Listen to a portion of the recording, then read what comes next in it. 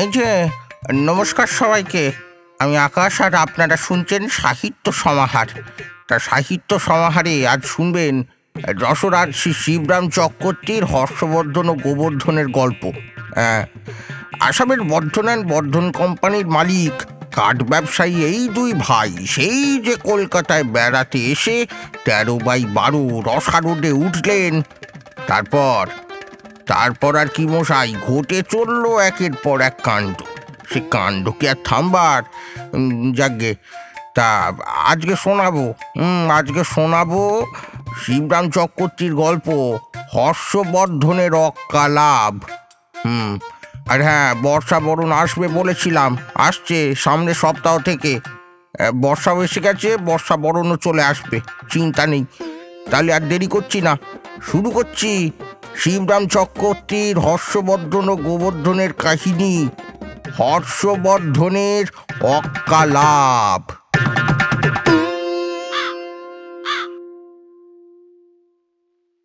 অবশেষে সেই দিনটি এলো।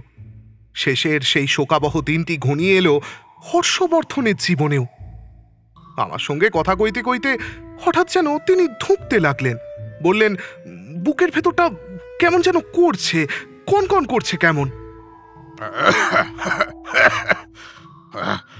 বুকের ভেতরটা কেমন যেন করছে? আহ, কনকন করছে? কনকন করছে যেন? আমি একটু শুয়ে পড়ি। বলতে বলতে শুয়ে পড়লেন শটান। বুঝতে আর বাকি রইল না। রোজ সকালে দৈনিক খুলেই যে খবরটা সবার প্রথম চোখে পড়ে, তেমন খবর একটা না একটা থাকেই রোজ।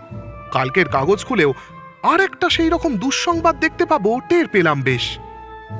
যে খবরে আত্মীয় বিয়োগ নয়, আত্মীয় বিয়োগের ব্যথা অনুভব করে থাকি। আমারও তো উচ্চ রক্তচাপ জনিত হার্টের দোষ, ওই রোজই যে খবর পড়ে আমার বুক ধরফর করে, আর মনে হয় আমি যেন মারা গেলাম আজ। আর আধ ঘণ্টা ধরে প্রায় আধ মরার মতোই পড়ে থাকি বিছানায়। মনে হলো তেমন ধারার একটা খবর যেন আমার চোখের ওপর ঘটতে চলেছে এখন। কদিন ধরেই ভদ্রলোকের শরীর তেমন ভালো যাচ্ছিল না।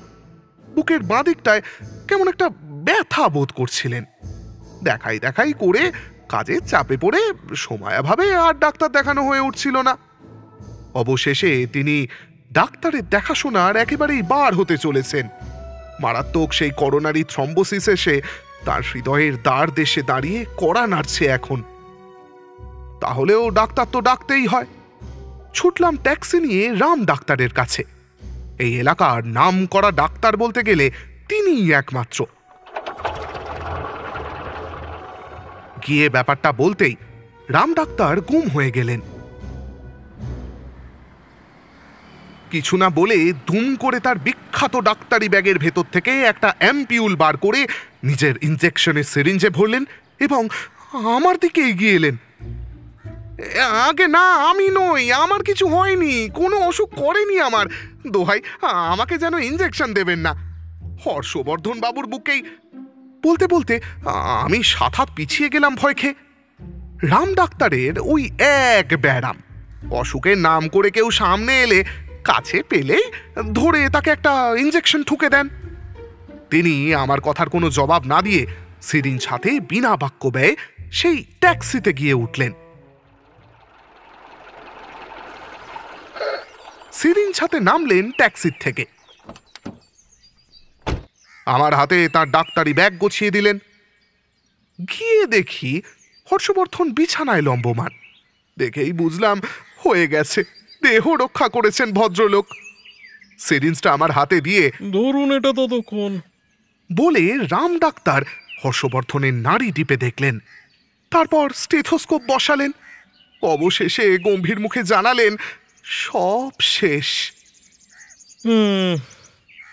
দেরি করে ফেলেছেন। সব শেষ। আমি ফল ধরে লক্ষণের মতন তার সিরিঞ্জ হাতে কম্পাউন্ডারের দুর্লক্ষণের ন্যায় দাঁড়িয়ে আছি তখনও। দিন তো সিরিঞ্জটা। ওষুধটা নষ্ট করব না। ওর নাম করে সিরিঞ্জে যখন ভরেছি তখন ইঞ্জেকশনটা বরবাদ না করে দিয়েই যাই বরং ওনাকে। বলে মরার ওপর খাঁড়ার ঘা মারার মতোই ইঞ্জেকশনটা স্বর্গত তার বুকের ওপর ঠুকে দিয়ে ভিজিটের টাকাগুলো গুনে নিয়ে ব্যাগ হাতে ট্যাক্সিতে গিয়ে চাপলেন আবার। হর্ষবর্ধনের বউ পা ছড়িয়ে কাঁদতে বসলেন। আমি একখানা সাদা চাদর দিয়ে ঢেকে দিলাম সব দেহকে। গোবর্ধন চোখে জল মুছে বলল, দাদা গো! কান্নাকাটি পরে হবে খন ভাইয়ের কাজ আগে করি। আমি নিউ মার্কেটে চললাম, ফুল নিয়ে আসি গে তারপর খাট সাজাতে হবে কত কাজ। আপনি যদি পারেন তো ইতিমধ্যে কীর্তনিয়াদের ডেকে নিয়ে আসুন। বন্ধুর কর্তব্যটা করুন। তার আগে তো চাই ডেথ সার্টিফিকেট তা না হলে মরা নিয়ে কেওড়াতলায় ঘেঁচতেই দেবে না। তাড়াহুড়োর মধ্যে ডাক্তারবাবু চলে গেছেন ভুলে ডেথ সার্টিফিকেটটা না দিয়েই। যাই সেটা লিখিয়ে আনি গে যাই তার থেকে। আর কীর্তন? ফেরার পথে তোমার সংকীর্তন পার্টির খবর নেব না হয়। ডেথ সার্টিফিকেট পেলাম কিন্তু কেতুনেদের খোঁজ পাওয়া গেল না। তারা যে কোথায় থাকে, কোথায় যায়, কেউ তা বলতে পারল না। শুধু এইটুকু জানা গেল যে, আজকাল নাকি তাদের ঘোর চাহিদা। ঘৃত, দুগ্ধপুষ্ট মনস্বী যত বড় লোকদের মরক, যেন লেগেই আছে চারধারে এখন। ডেথ সার্টিফিকেট হাতে, দরজাতে পা ঠেকাতেই চমকে উঠতে হলো। বাড়িতে পা দিয়েই যার ক্রন্দনধ্বনি কানে আসছিল, তিনি আর তোনাদ করে উঠেছেন যে অকস্মাৎ। ঢুকে দেখলাম হর্ষবর্ধনের স্ত্রীও নিষ্প্রাণ নিষ্পন্দ শটান। সতী সাধ্যি মরণে গেলেন। বলে তার পায়ে হাত ঠেকিয়ে নমস্কার করে নাকের গোড়ায় হাত ঠেকাতেই ওমা নিঃশ্বাস পড়ছে যে বেশ। হ্যাঁ, অজ্ঞান হয়ে গেছেন মাত্র। মুখে চোখে জলের ঝাপটা দিতেই নড়ে চড়ে উঠে বসলেন উনি। হঠাৎ অমন চেঁচিয়ে উঠলেন যে হয়েছিল কি? হঠাৎ নড়ছিল যেন মনে হলো? শনিবারের বারবেলায় গত হলেন। দানই পাইনি তো। ভূত প্রেত কিছু হননি তো উনি? প্রেত জনি প্রাপ্ত হয়েছে কিনা শুধোচ্ছেন। কিন্তু তা কি করে হয়? ওর মতন দান ব্রত পুণ্যাত্মা লোকে শটান স্বর্গেই চলে গেছেন। উনি তো ভূত হবেন না, আর না কোনো ভূত ওর দেহে ভর করতে পারবে। মুখে সাহস্তি বটে, কিন্তু সত্যি বলতে আমার বুক কেঁপে ওঠে। রাম নাম করুন তাহলেই আর কোনো ভয় নেই কো। তাতেও ঘোর বিপদ। রাম নামে আবার কিসের বিপদ? আমার শ্বশুর ঠাকুরের নাম যে পড়ি কি করে? আপনি করুন বরঞ্চ। আমাকে আর রাম নাম করতে হবে না। আমার নামের মধ্যেই স্বয়ং রাম আছেন। তার উপর আমার হাতে স্বয়ং রাম ডাক্তারের সার্টিফিকেট। এই দেখুন ভূত আমার কাছে ঘেসবে না। আমরা কথা বলছি। হঠাৎ দেখি হর্ষবর্ধন নড়ে চড়ে উঠে বসলেন বিছানার ওপর। খানিক্ষণ যেন অবাক হয়ে তাকিয়ে রইলেন চারিদিকে। তারপর নিজেকে চিমটি কেটে দেখলেন কয়েকবার। না। না বেঁচেই আছি বটে। তাই তো। বেঁচেই আছি। শিবরাম বাবু তা বা আপনি অমন গোমরা মুখে দাঁড়িয়ে কিসের জন্যে?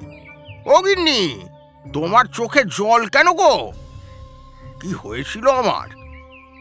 প্রশ্নটা আমার উদ্দেশ্যে নিক্ষিপ্ত মনে করে আমি তাকে পাল্টা জিজ্ঞাসা করলাম। আপনি তো বলবেন আপনার কি হয়েছিল। কিছুই হয়নি। হ্যাঁ না না না কিছুই হয়নি। একটা ভারী বিচ্ছিরি দুঃস্বপ্ন দেখছিলাম যেন। হুম দুঃস্বপ্নই হবে। এই রকমটাই মনে হচ্ছে এখন। ও কিছুই হয়নি তাহলে? আপনি কিছু ভাববেন না। কর্তাকে গরম গরম এক কাপ কফি দিন তো। উনি দু কাপ কফি করে নিয়ে এলেন। আমার জন্য এক কাপ ওই সঙ্গে আর কি। কফির পেয়ালা নিঃশেষ করে তিনি বললেন আপনার হাতের কাগজটা কি দেখি তো? কাগজখানা হস্তগত করে নাড়াচাড়া করলেন খানিক্ষণ ডাক্তারদের প্রেসক্রিপশনের মাথা মুন্ডু যদি কিছু বোঝা যায় ও কম্পাউন্ডাররাই বুঝতে পারে কেবল। ইতিমধ্যে গোবরা কয়েক তোড়া ফুল নিয়ে এসে হাজির। এত ফুল কিসের জন্য রে? ব্যাপার কি আজ? আজ যে আপনাদের বিয়ের তারিখ তা একদম মনে নেই আপনার।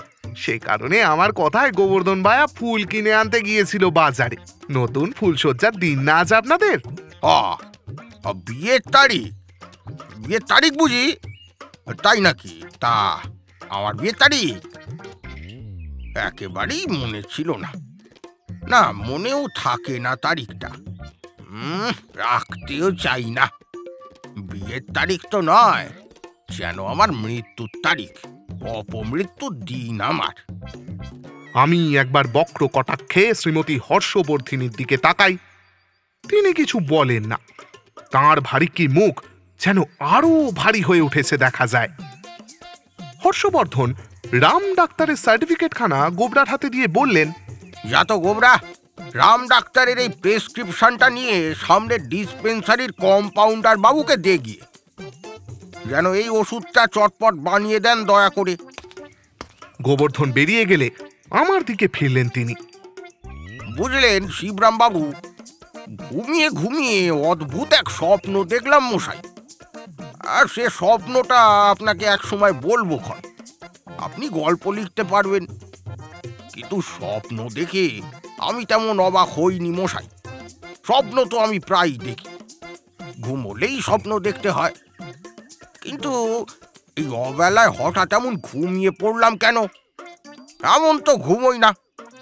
ওইটা ভেবেই আমি যেন কেমন অবাক হচ্ছি। হ্যাঁ ঘুমের আবার বেলা অবেলা আছে নাকি? সব সময় হচ্ছে ঘুমের সময়। তার উপর রাতের বেলা তো বটে। যখন ইচ্ছে ঘুমন আমি তো সময় পেলেই একটুখানি ঘুমিয়ে নিই মশাই। ঘুমোতে তো আর ট্যাক্সও লাগে না। বলতে বলতেই গোবর্ধন একটা শিশি হাতে ফিরে এলো। এই মিক্সচারটা বানিয়ে দিল গো কম্পাউন্ডার এই তিন ঘণ্টা পরে খাবে। এই একটা খেয়ে পেল তো দেখি এখন চট করে। হর্ষবর্ধন এক দাগ গিলে যেন একটু চাঙ্গাবোধ করলেন। বাহ বেড়ে ওষুধ দিয়েছে তো খেতে না খেতে এই বেশ সুস্থ বোধ করছি। রাম ডাক্তারের জবাব নেই। দে দে দেখি প্রেসক্রিপশনটা আমার কাছে। বলে গোবর্ধনের হাত থেকে সেই ডেথ সার্টিফিকেটখানা নিয়ে নিজের বালিশের তলায় গুঁজে রাখলেন তিনি। মনে হচ্ছে ওহ মনে হচ্ছে ওটা খেয়ে যেন নবজীবন লাভ করলাম। হুম, চালিয়ে যেতে হবে ওষুধটা। রাম ডাক্তারের দাওয়াই বাবা, ডাকলে সারা দেয়। আপনার এই অতি জোরেই বেঁচে গেছেন উনি এ যাত্রা। কানে কানে ফিসফিস করে এই কথা বলে ওকে বহাল তবিয়তে রেখে ওদের বাড়ির থেকে বিদায় নিলাম সেদিন।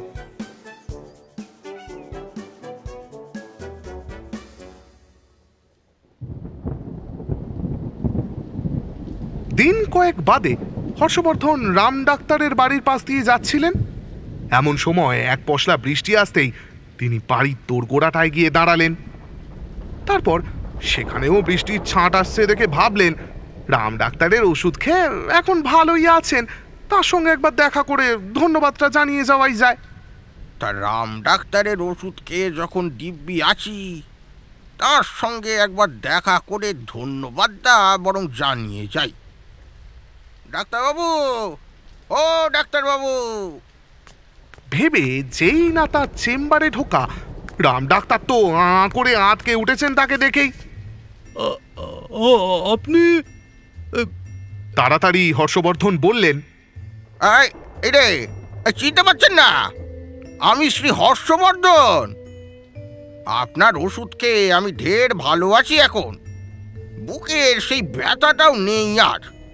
সেই কথাটাই তো বলতে এলাম আপনাকে। আমি তো কোনো ওষুধ দিয়ে আসিনি আপনাকে। শুধু একটা বই কোরামিন ইঞ্জেকশন দিয়েছিলাম। তো তারই রিয়াকশানে আপনি আপনি আপনি আপনার পুনর্জীবন ইয়ে কি? আমাকে দেখে এই প্রেসক্রিপশনটা আপনি দিয়ে আসেননি? কাগজখানা সেই থেকে আমি বুকে করে ধরে রেখেছি যে কখনো কাজ ছাড়া করিনি। আপনার এই প্রেসক্রিপশনের ওষুধ খেয়েই তো আমি নবজীবন লাভ করলাম মশাই। প্রেসক্রিপশন? দেখি দেখি। এটা তো এটা তো আপনারই ডেথ সার্টিফিকেট আমি আমি দিয়েছিলাম বটে। ডেথ সার্টিফিকেট হ্যাঁ হ্যাঁ কি বলেন? ডেথ সার্টিফিকেট কই দেখি দেখি দেখি। তারপর খানিকটা সামলে নিয়ে তিনি বললেন, আমার ডেথ সার্টিফিকেট তাই বটে। তাহলে ঠিকই হয়েছে। আমার সেই ভীষণ স্বপ্নটার মানে আমি বুঝতে পারছি এখন। সব কিছু এতক্ষণে আমি বুঝলাম। ভয়? খেলেও তেমন ভয়াবহ কিছু নয় বিবেচনা করে ডাক্তার তত ঘাবড়ালেন না এবার। আপনি আপনি কি তাহলে মারা যাননি? হ্যাঁ? তাহলে কি এখন এখন ওই ভূত হয়ে মানে দেখুন, স্বর্গীয় হর্ষবর্ধন বাবু আমার আমার কোনো দোষ নেই, আমার কোনো দোষ নেই। আমি আপনাকে আমি আপনাকে মারিনি। সুযোগ আমি পাইনি বলতে গেলে। আমি গিয়ে পৌঁছবার আগেই আপনি আপনি খতম খতম হয়েছিলেন। আমি আপনাকে মারিনি। না না না, আপনার কোনো দোষ দিচ্ছি না। আপনার কি আর দোষ দিতে পারি? না না।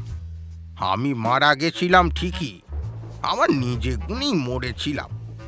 আপনার ডেথ সার্টিফিকেটেও কোনো ভুল হয়নি কো? জমালয়েও নিয়ে গেছিল আমায়। তা ঘটনাটা যা হয়েছিল বলি তাহলে আপনাকে। আমি হলুম যাকে বলে জমালয় ফেরতা। তা বেঁচে ফিরে এলাম কি করে? সেইটা আপনাকে বলি, শুনলে আপনি অবাক হবে সন্দেহ একেবারে না গেলেও রাম ডাক্তার উৎকর্ণ হন। অভূতপূর্ব হর্ষবর্ধন বলে যান, তা জমদূতেরা নিয়ে গিয়ে যমরাজার দরবারে তো হাজির করল। দেখলাম বিরাট সেরেস্তার সামনে সিংহাসনে বসে আছেন যমরাজ। সামনে দপ্তর নিয়ে বসে তার চিত্রগুপ্ত। কেউ না বলে দিলেও তার দিকে তাকালেই তা মালুম হয়। যমদূতরা সব ইতস্তত খাড়া। যমরাজ আমাকে দেখে গুপ্তমশাইকে ডেকে বললেন এই দেখো তো হে এর পাপ পুণ্যের হিসাবটা একবার দেখো দেখি। খতিয়ান দেখে চিত্রগুপ্ত জানালেন প্রভু এর পুণ্যকর্মই বেশি দেখছি। তবে পাপও করেছে কিছু কিছু। কি পাপ? আছে ভেজালের কারবার। ভারতখণ্ডের বেশিরভাগ লোকই যা করছে আজকাল। আহ, কিসে ভেজাল দিত লোকটা? কাঠের ভেজাল। প্রতিবাদ না করে পারলাম না। এ, প্রভু কাঠ কি কোনো খাবার জিনিস না ওষুধপত্র যে আমি তাতে ভেজাল দিতে যাব? কাঠ কি কেউ খেতে যায়? নাকি কাঠ কেউ ভেজাল দিতে যায়? প্রভু লোকটা দামি সেগুন কাঠ বলে বাজে বেগুন কাঠের ভেজাল চালাতো। আপনি অবাক করলেন গুপ্তমশাই। পাট গাছ থেকে যেমন ধান হয়ে থাকে, কথাটা সেই রকমই হয়ে গেল না? বেগুন গাছের থেকে কাঠ হয় নাকি? পাট গাছের থেকে তবু পাট কাটি মেলে। কিন্তু বেগুন গাছের থেকে কাঠ দূরে থাক, একটা কাঠিও যে পাওয়া যায় না মশাই। বেগুন মানে গণেহীন, নিশ্চুপ, বাজে। নামি বলে বিলকুল বাজে কাঠ ছেড়েছ তুমি বাজারে। তা ছেড়েছি বটে প্রভু। কিন্তু দেখুন, শাস্ত্রেই বলেছে, আমাদের মহাজনও যেন গত সব পন্থা সদা মহাজনদের পথে চলিবে। আমিও সদা সিধে তাই চলেছি। মহা মহা ব্যক্তিরা কে নয়, নানাভাবে ভেজাল চালাচ্ছে এখন। বেপরোয়া চালিয়েই যাচ্ছে। তাই দেখে আমিও চিত্রগুপ্ত, এর জন্য কতদিন নরকবাসের দণ্ড দেওয়া যায় লোকটাকে? ধর্মরাজ বিশ বছর তো বটেই। পাপের বিষ ক্ষয় হতে ওই বিশ বছর যথেষ্ট। বিষে বিষক্ষয় হয়ে যাক। তবে স্বর্গবাসের সময়টাই ঢের বেশি আরও। ধর্মরাজ তখন আমার দিকে তাকালেন। এই যে বাপু তুমি আগে স্বর্গভোগ করতে চাও নাকি নরক ভোগটাই আগে করবে? সে হুজুর আপনি যা মঞ্জুর করবেন তাই আমায় মেনে নিতে হবে। যতটা সম্ভব বিনয় নিয়ে আমি বললাম। আমার কথার কোনো জবাব না দিয়ে যমরাজ নিজের হাতের নখগুলো খুঁটিয়ে খুঁটিয়ে দেখতে লাগলেন। দেখলাম তার হাতের নখগুলো বেড়েছে বেজায়। হ্যাঁ তা দেখবার মতোই হয়েছে সত্যি। অবিলম্বে আপনার নখ কাটবার দরকার কর্তা, বড্ড বড় হয়েছে। তা যদি অনুমতি করেন আর একটা নরুন পাই। নিদেন পক্ষে একটা ব্লেড তাহলে আমি কেটে দিতে পারি। নখ না আমি নখদর্পণে তোমার কলকাতার পরিস্থিতিটা দেখছিলাম। আগে কলকাতায় আমার কোনো পরিস্থিতি নেই। ওখানে আমার পেতনি স্থিতি আমার বাড়িতে যিনি আছেন কোনো রকমই তাকে পত্নী বলা যায় না। পেতনি বললেই ঠিক হয়। এমন দরজাল ঘ্যান ঘ্যানে খ্যান খ্যানে কুঁদুলে বউ আমি আর দুটো দেখিনি কর্তা। পেতনি নিয়েই হয়েছে আমার ঘর। না যদি তোমাকে বাঁচিয়ে আবার তোমার বাড়িতে ফিরিয়ে দেওয়া হয়। দোহাই হুজুর তাহলে আমি মারা পড়ব। মারা যাব আবার আমি। অমন বউয়ের কাছে আমি ফিরে যেতে চাই নে তার চেয়ে নরকেও যাব সেও ভালো। দেখছিলাম তাই। তোমার ঘরের পরিস্থিতি এই। বাইরের পরিস্থিতি যা দেখছি, কলকাতায় তো আরও ভয়াবহ। রাস্তায় খানাখন্দ আস্তাকুড়ের গন্ধ, যত রাজ্যের জঞ্জাল। ট্রামে, বাসে বাদুর ঝোলা হয়ে যাচ্ছে মানুষ।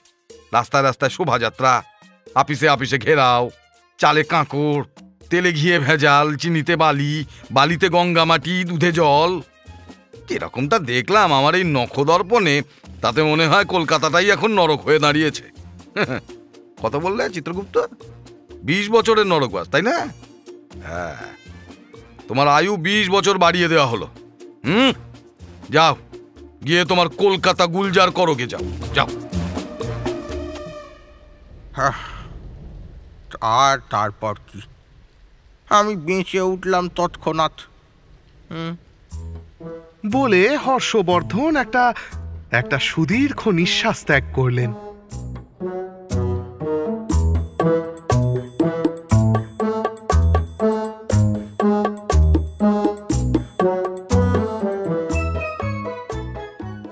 শুনছিলেন শিবরাম চক্রবর্তীর হর্ষবর্ধন ও গোবর্ধনের কাহিনী, হর্ষবর্ধনের অক্কালাপ। আজকের গল্পের সূত্রধার ও হর্ষবর্ধনের ভূমিকায়, আমি আকাশ। কথক শিবরামের ভূমিকায়, অর্ণব। গোবর্ধনের ভূমিকায়, শুভ্রদীপ। হর্ষবর্ধনের স্ত্রীর ভূমিকায়, শাশ্বতী। রাম ডাক্তারের ভূমিকায়, কৌশিক। যমরাজের ভূমিকায়, সমীরণ। এবং চিত্রগুপ্তের ভূমিকায়, জ্যোতির্ময়। আজকের গল্পের শ্রুতিনাট্য রূপদানে প্রতীক, শব্দ সংযোজনে ফিনিক্স অডিওভার্স প্রচ্ছদ অঙ্কনে রৌমজিৎ এবং আবহ ও সমগ্র পরিচালনায় আমি আকাশ। কেমন লাগছে আমাদের নিবেদন? অবশ্যই কমেন্ট সেকশনে লিখে জানাতে ভুলবেন না। ভালো লেগে থাকলে অবশ্যই লাইক শেয়ার এবং সাবস্ক্রাইব করে আমাদের পাশে থাকবেন।